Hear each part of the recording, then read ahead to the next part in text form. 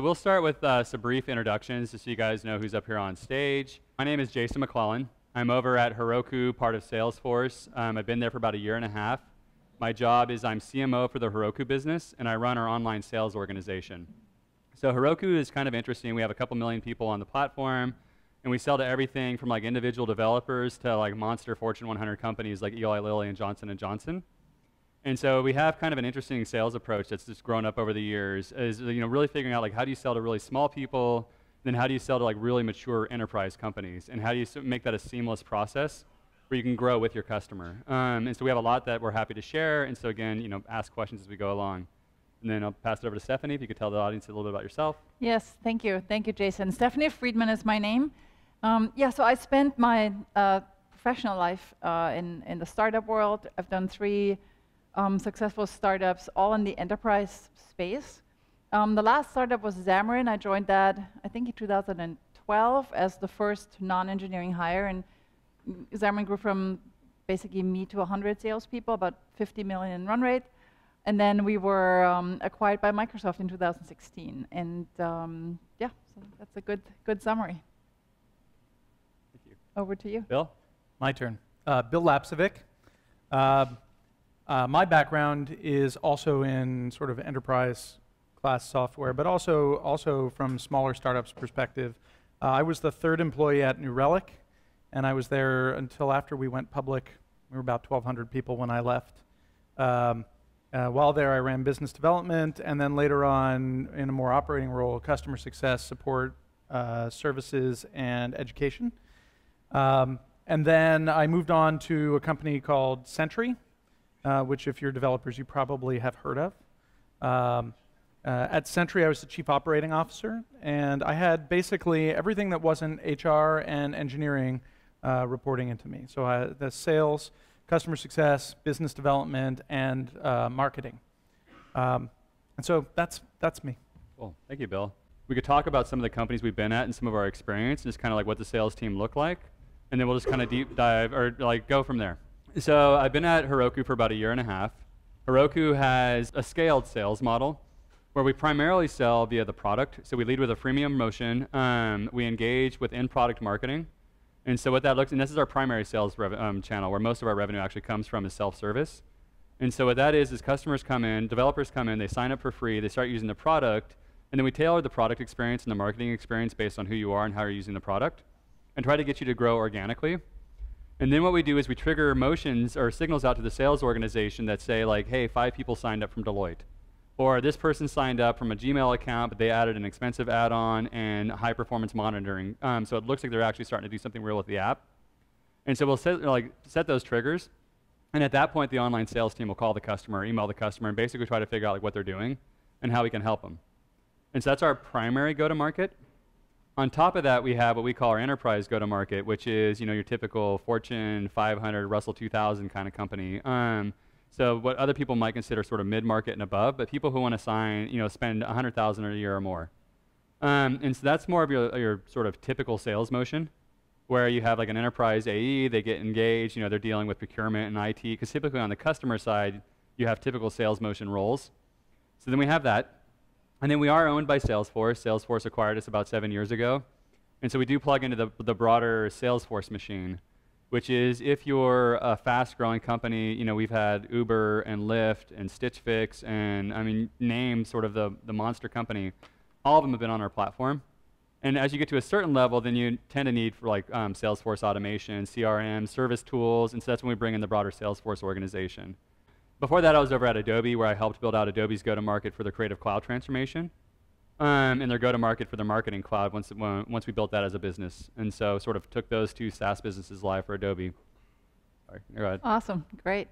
Um, so when I joined Xamarin, I was basically the, the, the, first salesperson slash head of sales at the same time. So as a you know trailblazer salesperson, I did you know the lead follow-up and, um, and and customer meetings, but also implemented the lead to cash and like the tools and the, and the process. And so basically what we started out doing at Xamarin was um, very developer-focused uh, work, meaning um, developers would download our software, and then really our work would be to, first of all, help them, help them understand that um, building mobile apps with C Sharp natively can actually work. So that was the first step we needed to do as a sales motion. Um, and then the second step would be almost customer success before somebody buys is like, let me help you build your first app. So we learned very quickly if somebody has, you know, tried it out and then they launch their first app, we've got them. Yeah. That, that's our customer. So, so I built basically a very customer success focused team early on. Uh, it was very um, SMB and mid-market. Um, always just a single team, even with the larger, you know, mid-market companies. But pretty quickly, larger organizations also were downloading our software, and we started an, an, enterprise approach as well, where we had to kind of prove, you know, you can, yes, you can integrate that with your backend. Yes, we know how to help you with security. And in order to do that, I had then to bring on board, you know, more more experienced, um, almost mobile architects, mobile engineers on my team that were able to, to, to help customers make that happen. So that was the setup. SMB, it grew to mid-market and an enterprise uh, motion and then on, on top of that, a very important um, route to market for us was the digital agencies and system integrators. So I had a dedicated team actually to work with partners. It was about you know 15 of 100 people, but about a third of my revenue. So by far the biggest revenue, you know, productivity per, per salesperson, so to speak. So that was really um, an interesting aspect of, of, of Xamarin as well. Cool, thank you. Yeah. Yeah, so at New Relic, uh, we had an interesting start for our sales organization at New Relic because we were dead set against ever having a salesperson ever for any reason whatsoever. In fact, the CEO wrote a blog post that was called Death of a Salesman. You could probably still find it. Uh, it. It wasn't a violent blog post, it was just it, there was a little marketing thing that he tried to do there. It was just to welcome you to the organization. Yeah. well, yeah, I mean that was great. Um, no, I, I, when I so when we started New Relic, um, I was actually uh, primarily there to, to create partnerships, right? And partnerships were what were going to drive uh, adoption for us uh, and cause word of mouth. And then we just assumed that the product was going to be so awesome that people were just going to upgrade and it would yeah. sell itself. And uh, it kind of did at the beginning. Um, and what we found was pretty quickly that there were a bunch of other questions that were coming in on top of, hey, I just paid for your product. You know, things like, where's my t shirt? Right? I deployed, I want my t shirt. Or things like, hey, what kind of support are you offering here? Or, uh, I didn't think the contract said that I was supposed to be here for a full year. I thought I could just switch from an annual price to a monthly price. Anyway, there were all sorts of non product related questions that started coming in the door as soon as people started buying the product. And so we hired this guy uh, named Steve. And we said, Steve, your job is just to answer these questions. He wasn't officially going to be a salesperson. and so Steve sat there and he answered the questions. And then in one exec staff meeting, we were sitting there and we happened to look at uh, the two cohorts of Steve accounts and not Steve accounts. And we noticed that all the Steve accounts were paying us three times what the not Steve accounts were paying us and somebody raised their hand and said, you know, I think we might need more Steves. Not to say the word salesperson, right? We're no, they wouldn't no. say that. The, they wouldn't say that at the time. Um, and I don't know if you, you know, New Relic now is a is a huge enterprise sales organization, right? They sell, they have account management, they've got customer success, they have uh, regional people all around the world, they've got offices in Australia and in Europe largely sales offices. Um, and the reason that they do that is it turns out that you can get people to use your product um, just by having a cool product. But if you really want them to use it and get the most value, salespeople are actually really an important part of that process. So we started out with lots of Steves. They ended up fo forming an inside sales team. And then as that grew, we started realizing that People actually wanted people to come and visit, right? To build a personal relationship because once you get to a certain price point, people aren't just going to put a credit card in, right? They'll want to either talk to somebody or see somebody. And so we started hiring what we called mid market and enterprise reps, people who had larger companies with a different skill set, right? The, these reps, the skill sets were all about how do you take a small pocket of success where one development team has bought your product and find all the other development teams Land and, and somehow expand. bridge that gap. Yeah. right? Yeah. Land and Land expand. and expand. Exactly. And I think the important aspect here is though that like you know keeping your audience into a, a- um, account, right? Like if you're Mhm. selling to a very technical audience or you're selling to developers, I think you need to um, have a very respectful approach. You know, you help your you don't sell really, you help your customer buy. yes. Um, and that, that, makes a, that makes a big difference. In the early days, it can mean my, my first, I don't know, five or six um, IC sales hires were all mobile engineers that were actually just talking to our customers Yeah, via email or chat or on the point. phone. Yeah. Um, especially for the founders here, like what Yeah. did you guys look for in those first uh, sales hires? So you say you had a realization, like, holy crap, we need to get out of just the founders, you know, Yeah. and actually have like real salespeople. Like, what were the skill sets? What were the personality types? So, so I've thought about this a lot actually in the last weeks. Um, I think the very first person that you hire, and you might have been that for New Relic, is kind of what I like to call the trailblazer person that ideally has some sales and business development background, and they help you figure out the sales motion. They help you figure out what to do and what you need. And then more often than not, you're Steve, or like, you know, in, on, on my team, you know, Andrew Way, Bitay, David Hathaway, the people we hired then, they were deeply technical, but they were happy to speak to customers and just happy to explain and happy to be helpful. And they were amazing salespeople, so to speak, without never really actually aggressively selling. Yeah. And our customers loved the conversations with them, and they just had, you know, so much value. So I just feel like you have to, no matter what you sell, you have to create value at every single touch point. And if you have a developer in front of you, that just means you need to be able to help the developer figure out their problems. Um, and then the, the, the selling turns into something that's just really helping them buy. Yeah. Yeah, money Yeah. al- almost changes hand as a side effect of the Yeah. conversation. Yeah, that value, the value uh, that the salesperson provides, if you're not providing value, especially if you're selling into development organizations, That's right. you're going to get the phone hung up on you. You're not going to get your emails responded. And even, you know, I'm not a developer. I don't play a developer on TV. I, I the last thing I coded was Lunar Lander and Basic, so it's been a long time.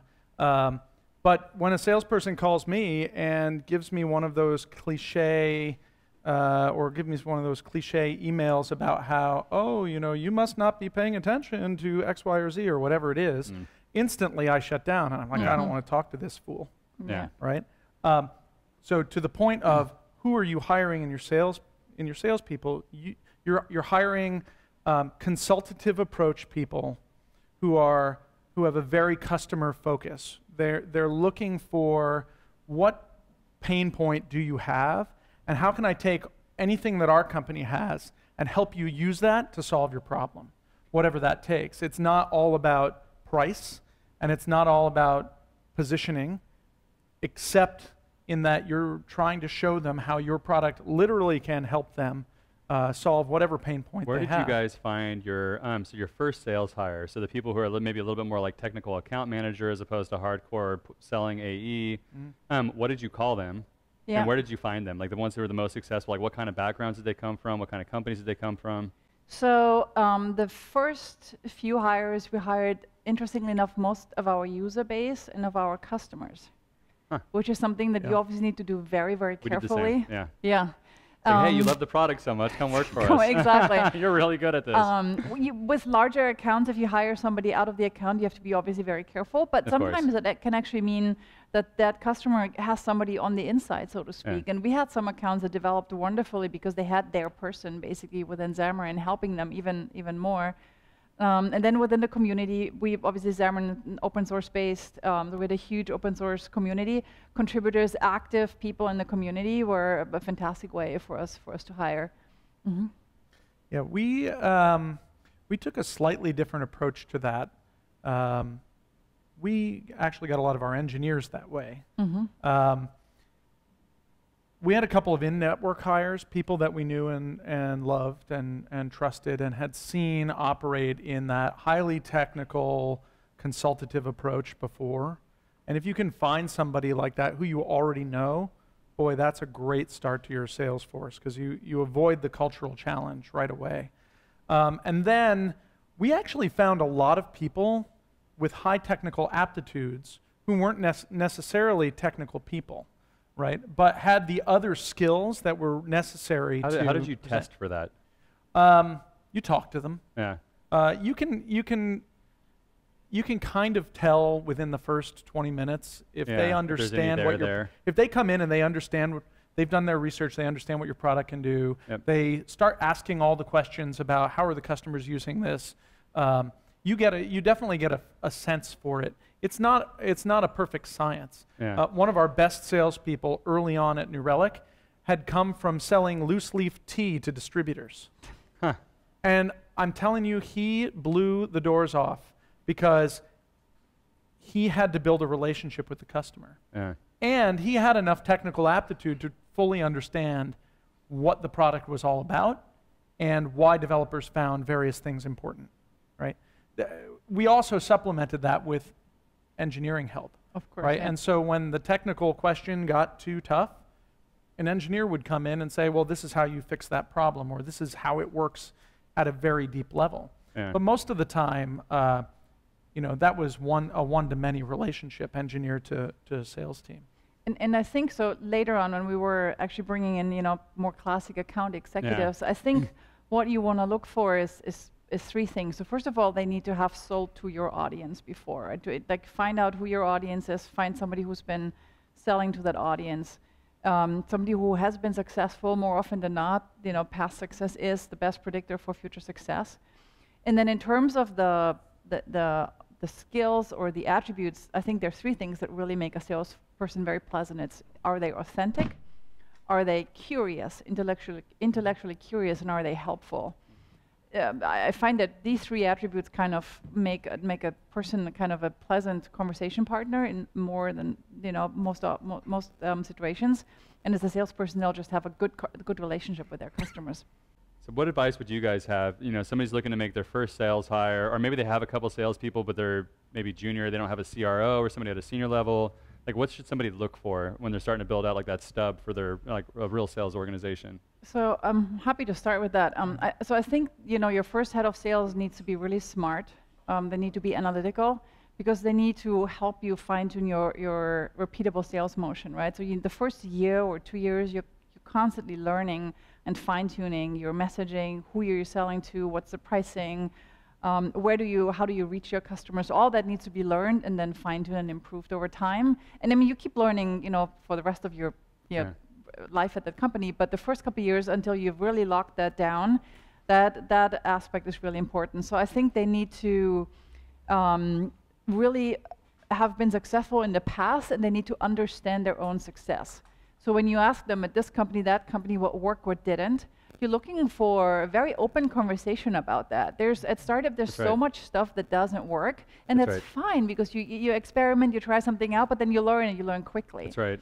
Um, so you know, openness and awareness The of, of their transparency own is success. super key, and the, Yeah. the willingness to like they may come from another company where something worked, but that willingness to experiment and adapt because you're going to go through a million failures. Yes. right? Yes. And really figuring out like what the message is, who the customer is, what's the right sales motion. So somebody who's like, and they're transparent about that, especially if you don't speak their language. You know, that's always the hardest. Where it's like, I don't know what this guy actually or, or gal actually does day to day. And Yeah. the more that they can kind of explain, like, here's the thought process, right? Yeah. And being transparent. All this didn't work. Now we're going to try this.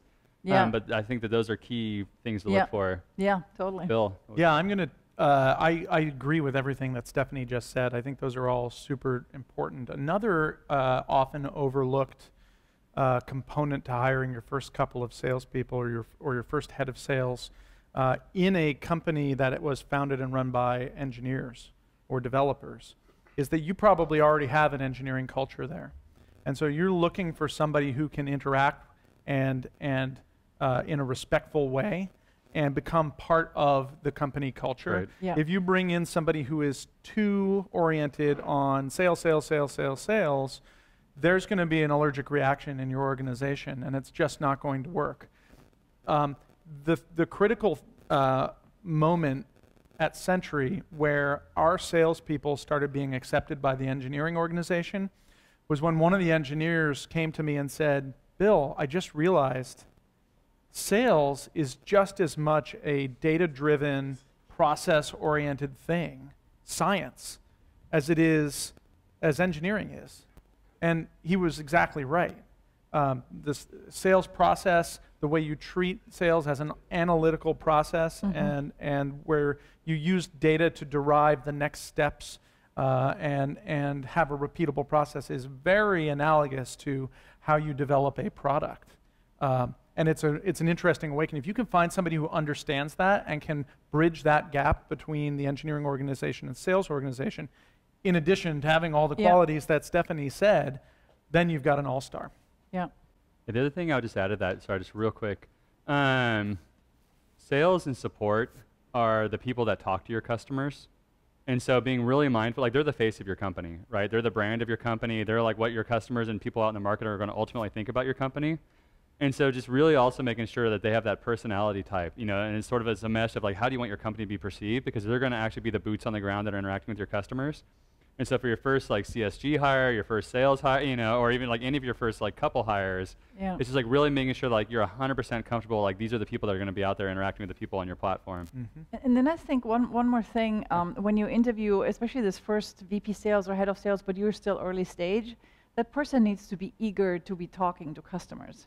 So be, be careful if somebody's too, you know, removed and wants to hire immediately three reps and, and have a big structure and a, an EA and an operations person. Like th- th- that first sales hire needs to, even if they are a VP, roll up their sleeves and be eager, follow up with leads, Mhm. make calls, you know, meet with customers. That's what they do in the early days. I think that's Yeah. really real important. One thing I would also add to that is even when you hire your sales team, as founders or as head of product, you should still be involved as much as possible in sales calls. You know, and getting that feedback directly, really understanding that process, because quite often people could say like, "Hey, I come from an engineering background. Cool, I hired a person to go solve that problem. I'm, I'm like, I'm done with that," and just kind of go back into the hole. Um, and I think that especially for early companies, like that's toxic, right? Like that's not good for you. You want to get that feedback loop of just really understanding like what's working in the field, what are Mhm. people willing to pay for, what are they not interested in paying for. Um, really hearing that firsthand. Uh, we had a couple questions, so we'll go first here in the front, and then It's almost hard to answer without knowing a little more. You, are you, Because- you eight you eight people. Everybody's technical in the company so far. Yeah, and uh, Mhm. mostly the co-found, like as the founders, we're doing the sales. Yeah. How much inbound stuff do you have? Do you have people that are knocking on the door asking questions, or uh, the opposite, which is you know no one's doing that, and you've actually had to use your networks to go out and, and find people? Because that will that will drive which of those many roles you want to you want to hire first. For example, um, we didn't need a marketing person at New Relic early on because through business development we had you know four or five hundred interested customers that were coming through the door. What we needed was somebody to field those questions. Yeah. Um, so we went with hiring a salesperson first, and not even a head of sales, just a salesperson whose job it was to kind of field things and then provide feedback to the organization. Um, we didn't know what our sales process was. We didn't know what a head of sales would do or what type of head of sales we needed until we had done a little more interaction with, with the customers in a sales type environment. Um, so it's important to think through what's going on with your leads that are coming in and how you're interacting with your customers. And what I'd say is find where the, the bulk of the work is and, and kind of hire for that first. Yeah, and it depends a bit on your go-to-market. Um, also, you know, are you selling something that is very mass market, sort of, you know, to tons of people who are maybe smaller deals? Are you selling something Mhm. that's like big enterprise? You have to go land a couple big accounts. Are you selling something that goes through a reseller or a partner or an SI? It, uh, it really depends on like what kind of skill set you need. Like what, like how does your product, you know, how how should it be sold?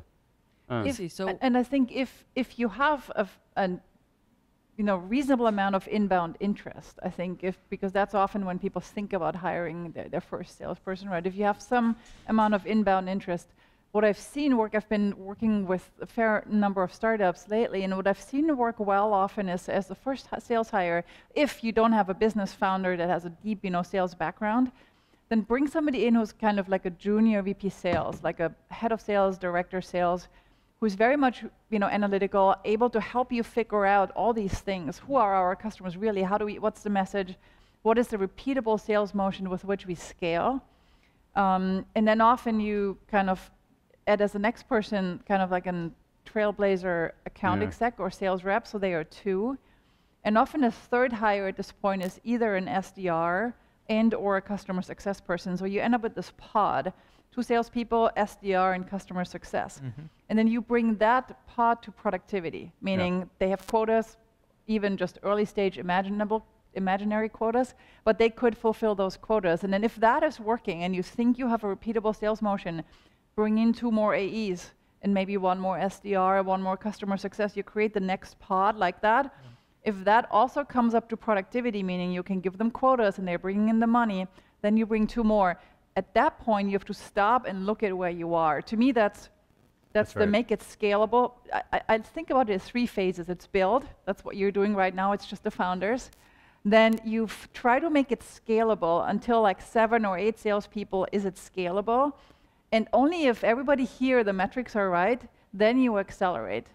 That's that's often a Series B kind of stage. That's when you kind of hit the gas and accelerate and really really scale the and, business. Um, I've seen a lot more success with that. Like, uh, if you happen to know somebody who is an amazing senior CRO that's out that you guys have worked together, you know it's going to work, then maybe go that route. Mm-hmm. Um, but this route, which is more like the founders are still involved in the sales process, you just figure out how you augment yourself, right? Like take the, the day-to-day grunt work, but you're still overseeing, you're still involved, and you're sort of expanding that out until you really understand your motion and really understand what you're looking for before you go bring like another big, like expensive, big ego kind of person in. Then all of a sudden you're like, how do I get control of my company again? Um, and so I found a lot more success with that, which is like hire some more maybe junior senior kind of people who are like they're good enough, they're scrappy enough, they can kind of figure it out, but you're still very much involved in overseeing that process. And Huh. I'm finding the big ego people, honestly, never really that helpful in any company. Th- You know, your title shouldn't matter. And in the, the first set on year and a half, I was just head of sales at Xamarin. I didn't care. Um, just make the companies, that's the attitude, just make the company successful, make your customer successful. That's really what matters. And everything else kind of will, will happen. Uh, the biggest mistake that I see happen in that regard is following the money too much. You know, you get somebody, let's say you're just starting to get a handle on your sales motion. You've got 10 or 20 customers, and it seems to feel pretty good. You're starting to get a couple of deals here and there. Everyone's kind of exciting. And then in through the door walks a giant opportunity that is just a little bit to the left of what you're doing and what you think works. But man, it would be nice to get all that money. Oh, the money. or that brand. Or the brand, brand, or yeah. whatever. Don't do it. I can land that logo. I'm yeah. just telling you. Yeah. I'm just telling you right now. Don't do it. Um, be rigorous in saying that that is not our customer right now. yeah. Right. Couple things. One is they probably will still be there because they're probably going to be a successful company too. They'll probably still be there in a year or two when you're ready for that type of customer. Thing number two is stepping outside your motion that seems to be working, even a little bit, can be deadly because you cannot, you, you, you always underestimate the friction that it causes Right. in your organization to have to mm-hmm. support suddenly those guys over there. Yeah. like, oh, we'll build the support, but but we also have to hire somebody to deal that that thing over there, right? It really is painful. And so to the extent that you can keep boundaries around the customer that you want that is going to be successful your, with your product, do that. Right? That's uh, th- I think that's my biggest learning there. Yeah, one thing I would just add about the getting to know, um, a lot of junior people or sort of inexperienced salespeople don't understand. Like, there's you hardly ever get told no, right? Like people are just uncomfortable, whatever. Like, and so, um, but you get soft no's, right? Like deals that'll just drag on forever, or it's a person who's not empowered, they don't have budget, they're not making a decision. And so just really having a rigor around defining your sales process of like, you know, when is a lead qualified? Like when are you going to actually follow up? Like, you know, understanding your pipe of like when you think it's like reasonable to actually close. And like instilling that rigor in your sales team, which is like, this is a soft no. Like this customer is never going to close. Like stop wasting time on this person or else you could find that you're wasting time on like most of your time on people who will never buy something from you. And so just being mindful of that, which is like they'll say, like very rarely does the prospect actually say no. Like, oh, next month, or I got to go talk to this, or I got to go do this. And meanwhile, like months go by. Stephanie, anything you would add? Yeah, yeah, and I, so I think being really crystal clear. I think there's a methodology to some of these things. For example, your ideal customer profile. That's something you just very early on you need to write that out, and also the the opposite of that, right? Who do we absolutely never want to sell to right now? Be very crystal clear and have that, you know, be um, be your, your your your guiding star at any given point, right? And and be very strict ar- around that and then really going through your, your customer's journey and understand from their perspective how they buy. I think it's so easy to talk about the you know the sales cycle and how we want to sell to them, but it's I think really important to get into the customer's head and understand how they want to buy. And, and then really follow them along, along those steps. And if they're then not making those steps, then they're not going to buy. So it's easier That's to right. recognize it then if you kind of really always put yourselves into the customer's perspective. So that's really important on that sort of steps to know is even very early, um, start building out the formula for your sales process and really understanding the calculus of, you know, how, what's our average time to close, what's average deal size, sort of customer segmentation, um, how many leads do we need, you know, how many leads do we need that are then qualified, how many leads do we need in each step to understand like how much money we're going to actually close each quarter. Um, you're going to be horribly wrong when you first start, but just like building that harness to start understanding, like, you know, like how do things trickle through your funnel? And really understanding that is you can understand, and you get to the point where it's like, okay, I could tell you two years from now how much money I'm going to have, right? Based on how many people I'm talking to right now. But starting to build that mentality and that process like early on, and that also helps you go back to the sales reps to be like, you got to get better because you've had this lead open for, I don't know, nine months. Um, but you now have the calculus and sort of an understanding you can have those kind of conversations. That goes back to what Bill was saying about like sales should be very analytical and data driven. You know, who's out there? Like, how big is your market? How many people do you have? How many people can each person talk to? Of those people, how many is going to ultimately become a qualified lead? You know, how long does it take to close a lead? And then when you start hiring people, or maybe yourself, you can start looking at that, going, okay, like where are the weak parts in this funnel? Like, do I shorten lead time? Do I need to get more leads? Do I need? But basically, you, you understand the calculus behind that. You can figure out like, what are my levers in the sales process, and how do I improve this? One way to get people, uh, get salespeople to get to know a little bit faster, or at least to decide when, uh, when something's not going to close one day, is to teach them that uh, you that your fixed resource is time, right? And if you're only going to get X dollars per minute in a day, or in a in a quarter, and you're spending all that time on somebody who's not That's paying right. you, you're not going to make your quota, right? And so you can turn it into a math equation. I think at any given stage, you want to incentivize people for what is important to you at that time, right? In the very first month or year, that can be just learning. So it could be as as you know simple as having a document every week that's like objectives, uh, observations, learnings, recommendations. Like you need to give me this document every week or every month, or probably every week. Every month seems incredibly long in startup time. Um, and if, if this is a you know valuable document, that is when you're at 100%. Um, and then when you just want to have more customer conversations, more leads, more conversations, you could pay them on, I want you know 15 customer conversations per week. Uh, when these you know progress into proposals, is I want to have six proposals per week. I want to have 20 conversations, um, and and uh, you know one opportunity closed. You know one customer won, and you can basically without having to give a dollar quota, because often you don't know even yet. You know what's your average selling price and how many deals can somebody close. So you don't want to frustrate people by giving them a quota, and then they're like way off. Um, so you can kind of inch yourself up towards a dollar quota that will then allow you to, once you actually give dollar quotas, make them reasonable and achievable. Because I do think that salespeople have to be able to over, overachieve. I've started out as a salesperson, you know, many years ago myself. Let me tell you, there's nothing more frustrating um, th- not than having not a chance. not not Yeah. being over 100%. You just even just like 97% of quota feels horrible to most salespeople. So the, let's not let's not uh, let's have That's them really important. Like most salespeople view, I mean, literally 99% is a failure. Yeah, yeah, exactly. Right? Doesn't Um, they feel take good. it really hard where it's just, I mean, and so salespeople stereotypically, right, tend to be incredibly competitive. yeah, Um, that's why a lot of people come from like sports backgrounds. Um, and it could definitely be overdone. And that's one thing like to be mindful of when you're still like setting quotas, because it could definitely be overdone. So it's kind of like you want somebody, and so but because of the competitive thing, like the 99% is like a total failure. Um, but sorry, go ahead. Yeah. And how would you think about, um, you know, setting their quota like 30% salary, 50%, 100%? Like, how would you think about what have you experienced on ranges? yeah. That the- I mean the the kind of the the go-to is 50-50, right? From like a, a traditional salesperson has like a 50% base and 50% variable. In the early days, when there's so much unknown still, I've I've often seen 60 or 70 or even 80% base Uh, and and a Yeah. smaller variable. How that's about you? what that's what we did Yeah. at Sentry. We um, we started people because we knew that we didn't have our motion down, and we didn't we couldn't guarantee that sales were ever going to come in the door. Honestly, for the salesperson, we set it up with a with a pretty high base salary to start.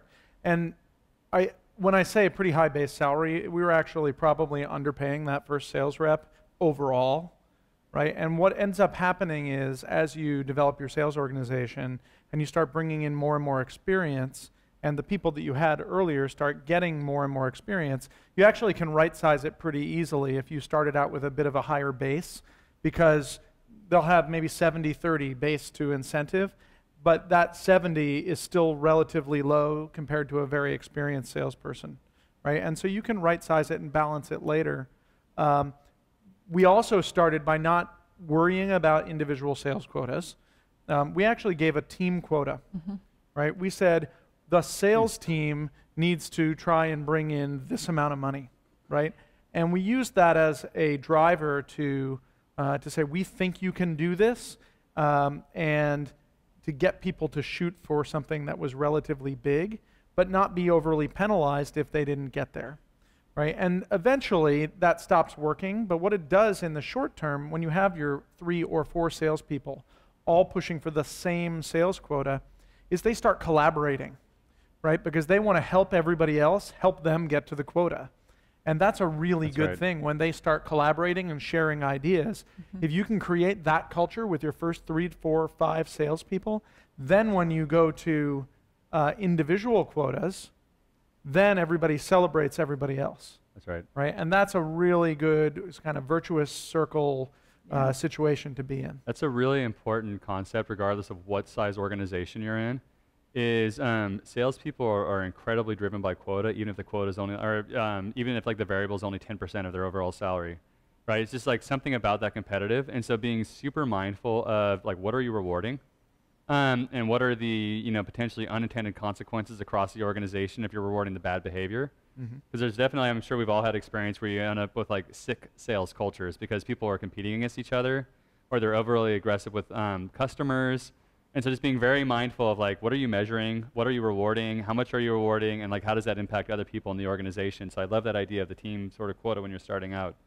And then I think to add to that, um, what I've also seen work really well is to have a base goal and a stretch goal, especially in the early days when you really Yeah. don't know yet. You Would you do accelerators for the stretch? Maybe for the exactly for Yeah. everybody, you know, if we as if we Yep. had a lot of team goals as well. Like if we hit the stretch, everybody gets another five hundred dollars or another one thousand or you know something. Um, and especially if you don't know, you know, your base goal could be a hundred thousand, your stretch could be three hundred. It could be a massive, you know, because you don't know because there's some bigger first deals that might or might absolutely not come through. You don't know. And so I think base and stretch allows you to manage that. And the base goal is something that I think ideally the team should always hit because again even as a team you know you feel better if you can Yeah. actually make your number at least the base Yeah. Um, and then the stretch is something that you want to just really challenge everybody to bring their best into the, the company every single day right to go above and beyond and if you hire the right people you'll you know create a lot of energy that way you don't necessarily share that stretch plan with the board maybe Yeah. No. but um, it's something that you you know you manage yourself and your team against, and every month or every quarter you try to hit that, and you know sometimes you will, and it'll feel really great. So it sometimes feels for um, the, some of the technical founders that I've worked with in the past, it feels really icky. I think that's the word I meant to use, icky, uh, to say, um, to give these incentives above what you expect to pay a sales rep. And sometimes you essentially are giving them potentially unlimited earning potential, right? Don't be afraid to do that Yeah. because so you overpaid them, right? Let's say they hit 500% of their quota.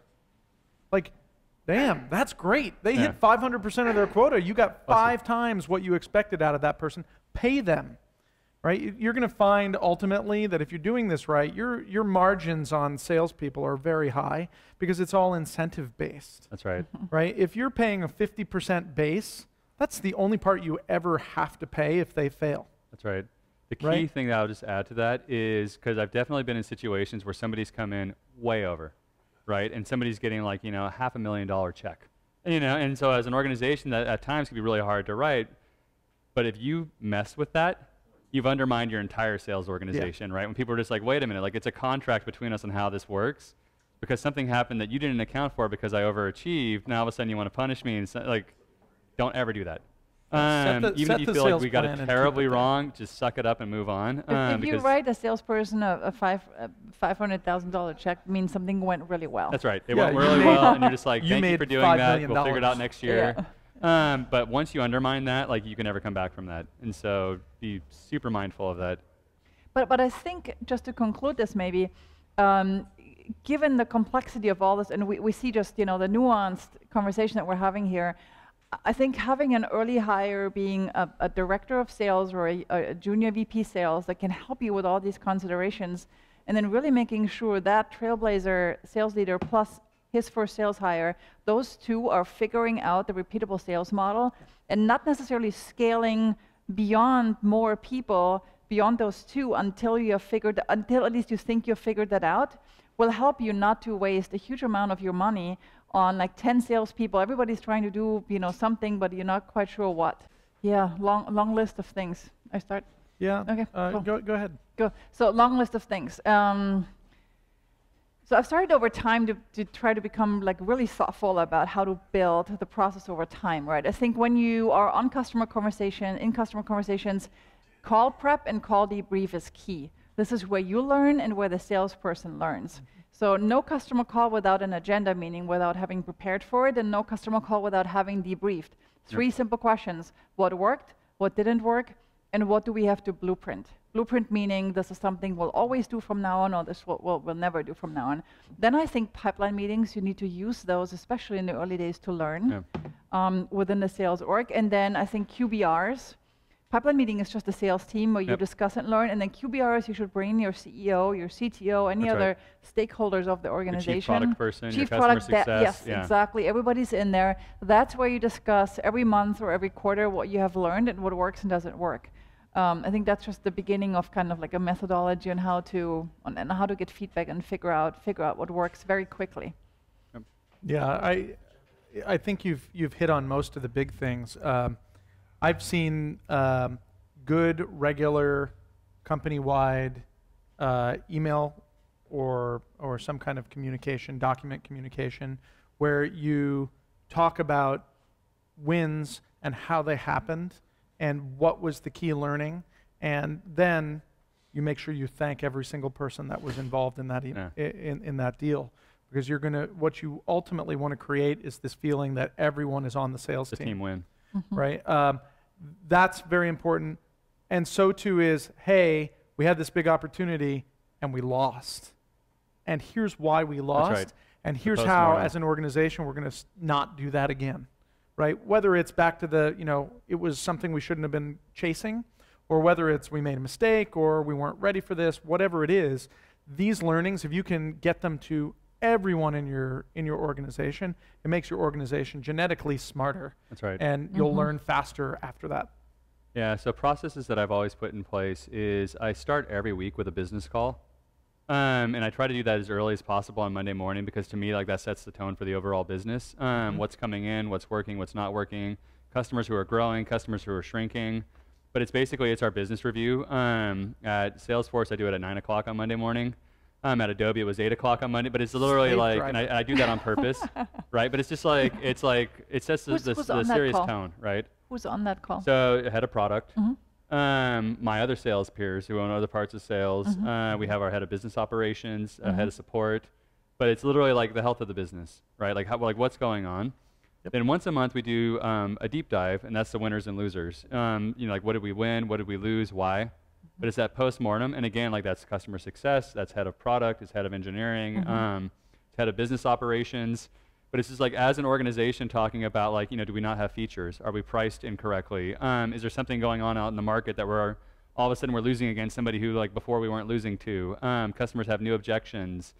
Um, but really making sure like it, it's on the schedule right? And everybody shows up and it's like a pretty rigorous agenda but just building that in where people just know, like, okay, here's a meeting, and you know, there's going to be expected outcomes. Like we come out of that with squads. So it's sort of like, oh, we have increased attrition, you know, last month. These three people are going to work on it, and the next month when we get back together, like they're on deck for reporting back in, like mm-hmm. what happened. Um, or are we're losing on price all of a sudden against somebody else. Um, these three people get assigned. They're going to come back in a month and talk about like, here's what we should do about it. Do we, you know, credits or discounting or repricing or more features, whatever the case may be, but it's like come back with a recommendation. But having that kind of cross-functional team that just exists um, is something I found to be, uh, to be helpful. As you guys have scaled your teams, and so say you're now getting to the point where you have like these multiple pods and squads, how do you think about segmentation? How do you think about, you know, um, like which customer segment, and maybe we should now have like bifurcation, trifurcation, sort of go after different motions? Have you guys thought about scaling that up, or different geos, or different, you know, sort of Yeah. business segments? You have to pay attention to the patterns. Um, you're going to find, uh, if you look at your customer base regularly and you kind of review what types of customers they are, um, you're going to find different size customers do things differently. They buy differently. There are different processes. When you get really big, there are all sorts of other processes you have to take into account for. And then you're going to look at what features and capabilities do each, cu- do each perfect customer uh, need to use and who's using them. Um, so you have to look at all of these things. Um, we start, you start out with a big lump of customers. And then you will notice over time, you'll notice that some are just doing things pockets, yeah. differently. And then what you have to do is evaluate is that a pattern that we have to break out separately? Um, the first one that sales teams often encounter is, um, is big companies buy differently Yep. right? It's no longer, hey, you know, the, the head of engineering uh, is just going to put this on his credit card, right? It's now we got to get the CFO to sign off on this and That's a right. purchase order done IT and the and budgeting and- process to be taken care of and all that craziness. Uh, and as soon as you start seeing that, then you also end up with security reviews and all sorts, sorts of corporate governance and different, you know, RFIs and RFPs. And those are, that's a materially different sales process than sort of your inbound small company. Uh, I'm going to tell you about the product, and you're going to say, "Yeah, that's really great," and give me your credit Your card. credit right? card. Yeah. Um, and that's where that's where you first often start segmenting. Um, you, I, I found that at least in infrastructure tools like Sentry and New Relic, we didn't get to verticalization until like year 10 yeah. right? Because it, these are very horizontal products. You're, you're selling to a class of customer that has developers. And so they're using developer tools. And that's what these, these things that I've been selling are. Um, there was no, very little difference between somebody who is a developer for a healthcare company and somebody who's a developer for an e commerce company. Yeah, their, their code looks different, but they're still doing largely the same stuff. Anything to add? Yeah, yeah, a couple of thoughts here. I think so as like in this build, in this early stage, right, it's about figuring out the repeatable sales motion. Once you've found that and you start to scale, really what it's all about is maximizing sales team productivity, which means you want to specialize people. So that, that's what kind of think that what's underneath all of this. We need to specialize people into different roles because the more specialized you are, the faster you are at, at, doing something, right? Even at having a conversation. So often that's SMB, mid-market, corporate, just size of customer. It can be a direct conversation versus a partner team, a channel sales um, setup. Or um, at Xamarin, we um, started SMB mid-market, and then I actually had at first an inside enterprise team that was talking to large accounts, kind of up to you know six-figure deals. But then we built a more traditional field enterprise team, people that were actually traveling or lo- located in different locations, and that's where we actually started to think about verticalization pretty quickly because we were suddenly talking to people who were building two, three, four, five hundred internal enterprise applications. And that's, you know, very, if you talk to an airline, um, you know, we Alaska Airlines was one of our, you know, great early reference customers.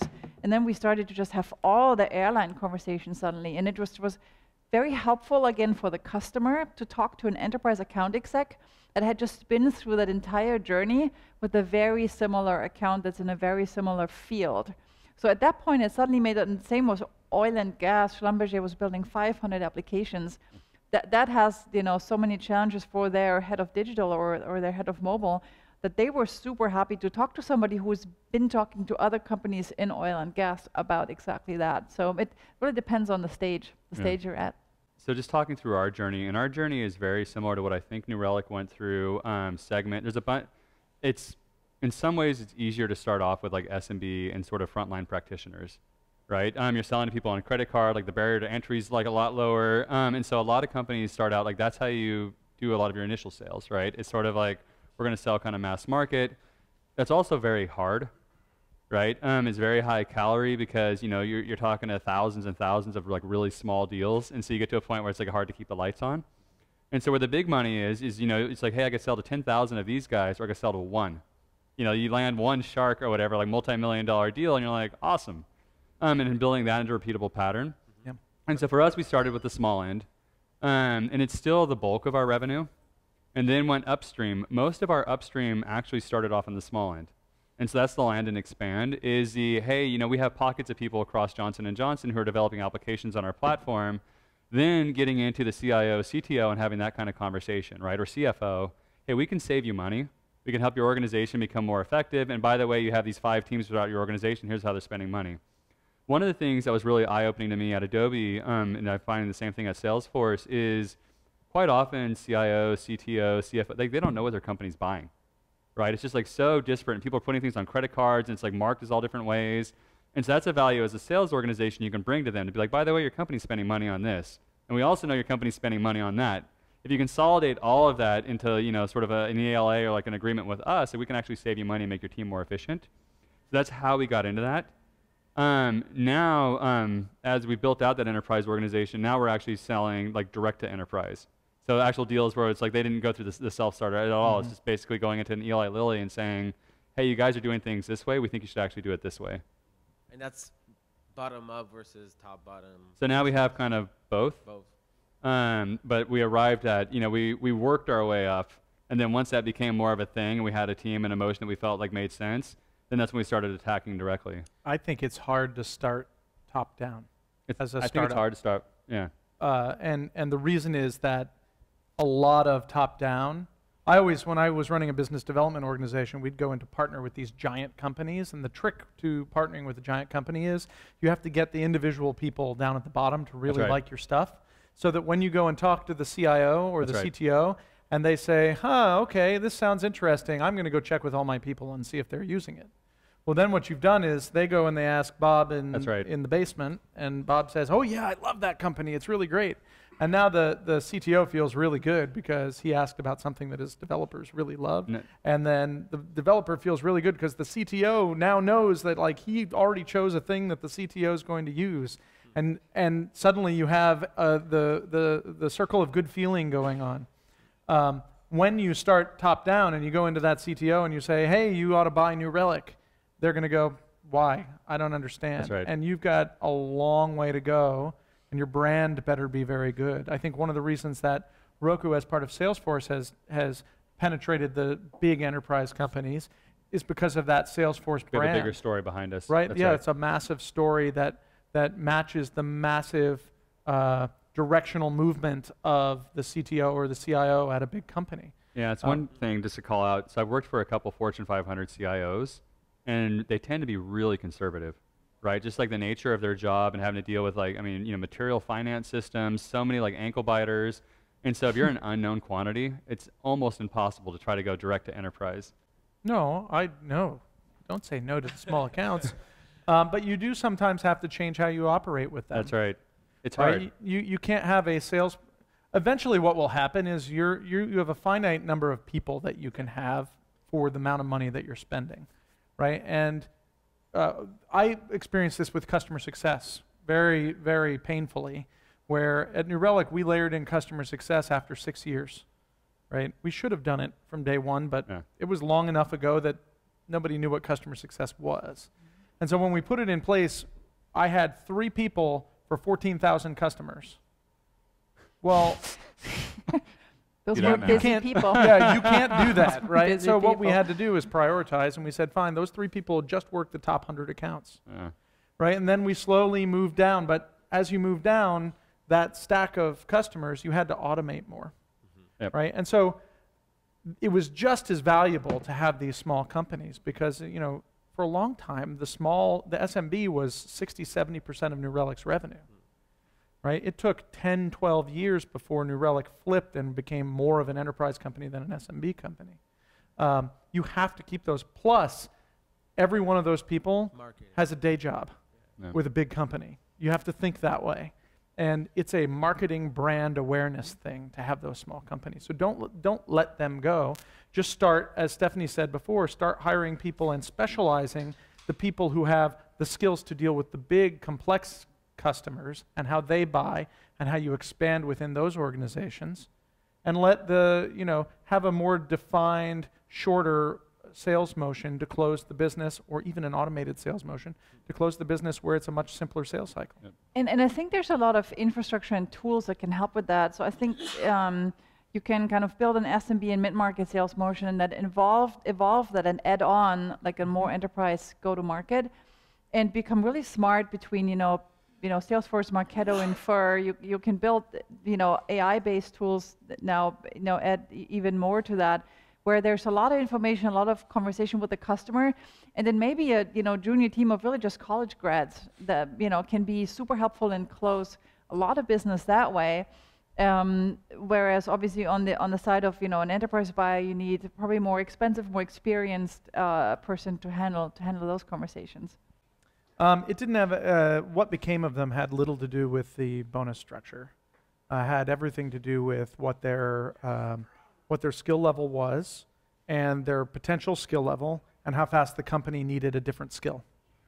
Right? Um, lots of our early salespeople in, uh, at New Relic and at Sentry didn't That's right. didn't become the enterprise account rep because it's just a it's a different personality type, different incentives, different. I'm sure you guys are going to encounter that not just with salespeople. Yeah, I mean, as your companies grow, you're going to encounter Yeah. that with every role. That the people that get you through each segment, like not all of them are the right people for the next. That's right. And a lot of people self opt out, right? They say, "Hey, I'm like a 10 person company person. I'm not a 20 person company. Like, oh, 20 persons too big for me, or 50 persons too big for me." Or they just start maxing out. They start and, maxing and out, you see their tapping out. productivity doesn't grow with the need.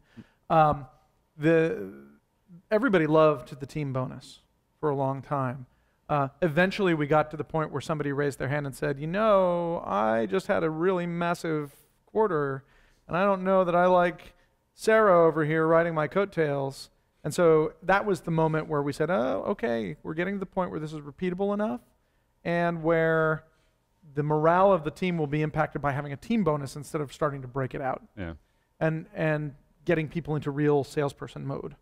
Um, so that's and and, how- and I think so at, at Xamarin we did the the whole team is on a team bonus only in the very early days, Mhm. and then pretty quickly we, we moved it to individual quota for the base target, but then a team bonus on the stretch target, and we kept that honestly until the acquisition, and that was such an amazing element that made it fun and and Mhm. I, I would see you know the, the super experienced enterprise account exec sitting you know with with a new hire who had just graduated and you know explaining him you know his you know you know tricks on like how he's how he's working the accounts um, so I think that can work really well and create this feeling of togetherness. I think you need a um, a quality of the whole team to a certain degree to make it work. Um, I always like to look like the word earnest. I think that's almost like an old-fashioned term that nobody uses anymore. But it's like kind of people who do the right thing even if nobody's looking. Yeah. Um, and I felt we had just a fantastic group of people, almost no turnover, by the way, throughout the, the entire years, and that made us very strong because it was a very f- a feeling of togetherness and a team that really tried tried to make it happen. And I think those very early hires, if you can figure out a way to keep them, if you can figure out you know different roles that they can grow into or different activities that they can help with, there's so much knowledge and so much um, even just emotion if you are with a startup in the early days that I think those can be some of your strongest um, contributors and a really, really you know strong foundation for the for the organization. Yeah. Don't Yeah. underestimate the power of incentives to Yep. drive teamwork.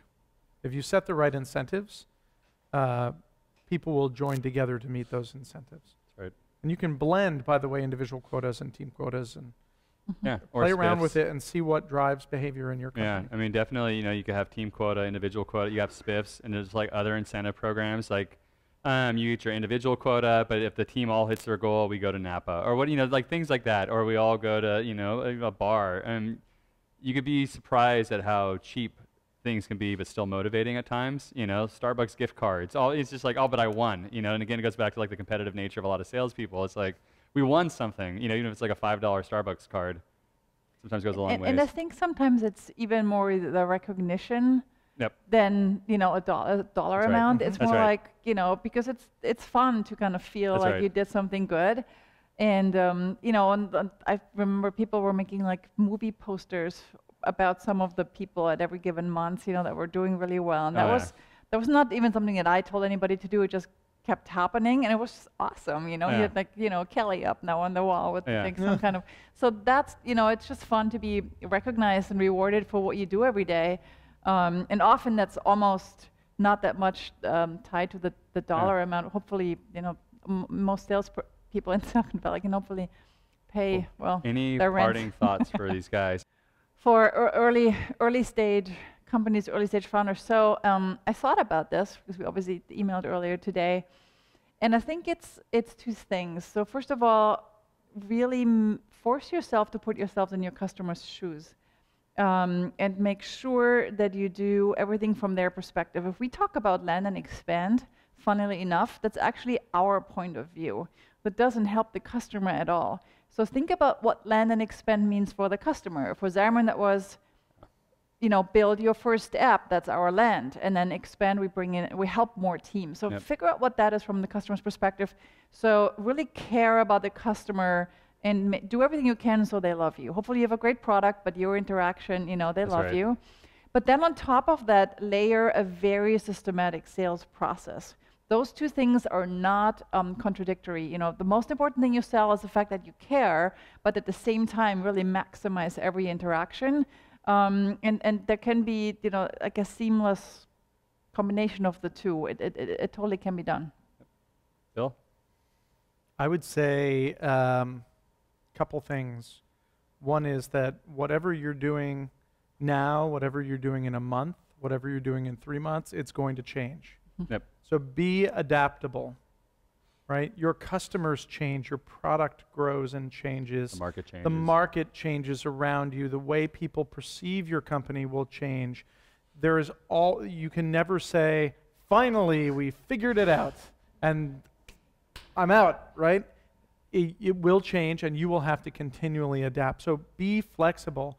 If something is working, watch for it to start not working and then tweak it, right? So to the to the extent or to Stephanie's point, right? That involves thinking like your customer thinks. How are they perceiving you? Um, the other thing I would say is, especially for technical founders, um, make a huge effort early, early, early to let everybody know in the company that they're all part of the sales team, Yep. right? And that the That's sales key. team is not a separate and distinct piece of your company from the engineering, development, product, and product organization. If you can create a tight link between the two early, where feedback from the sales organization is being consumed by the engineering organization to make the product better, where engineers are feeling like they are part of the sales process, even getting in front of customers with a salesperson there, um, you're going to create an amazing environment that people want to work in and some amazing teamwork that's going to accelerate your ability to sell Yeah, thank you for bringing that up. Um, that is a really good point. That you know, sort of sales isn't just a sales function. Um, that's one of the magic things I feel at Heroku. Um, one of the things I really value about there that the engineers love being on sales calls. They love talking to customers. The product people love being on sales calls and talking to customers. Um, and so as a salesperson, it's made my life a lot easier. You know, when I could just connect, like, hey, here's the Postgres guy. You could talk to him directly. Um, it's magical, and it's one of the things that I think differentiates us from a lot of our competitors because like our customers love that. They're just like, oh yeah, Heroku. Like I know that I can just go talk to the Postgres guy, you know, if I need to. Um, I mean, there's a scalability concern. You have to figure out how to like load balance that, of course. But you know, building that where everybody feels like, hey, I could be part of a sales call, and it's not like some scary weird thing that some other team does, is super super important. So thank you for that. So big round of applause for our, our um, Bill and Stephanie.